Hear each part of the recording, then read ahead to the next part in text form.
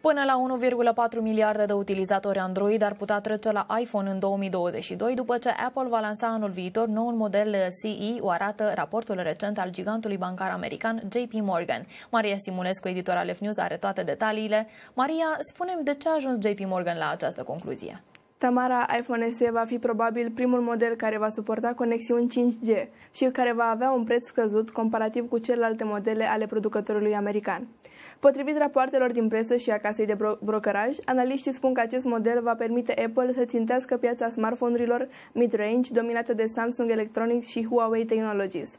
În plus, 300 de milioane de telefoane iPhone vechi ar putea fi înlocuite cu noul iPhone SE 2022, în principal datorită capabilităților 5G, Raportul trimis clienților JP Morgan a inclus o estimare a performanțelor noului telefon pe piață.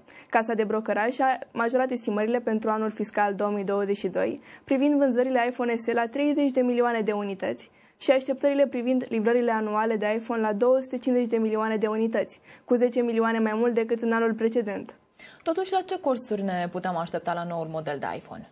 În prezent, iPhone SE pornește de la 399 de dolari, față de 799 de dolari pentru iPhone 13 și 999 de dolari pentru iPhone 13 Pro. Programul de schimb al Apple pentru alte produse decât iPhone nu este cei drept la fel de atractiv ca valorile de schimb ale iPhone.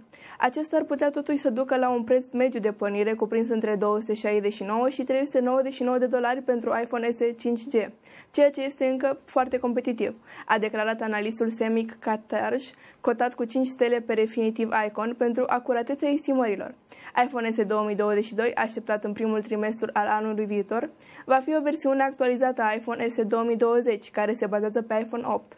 Acest lucru înseamnă că va avea un ecran LCD de 4,7 inch și va avea butonul de pornire Touch ID.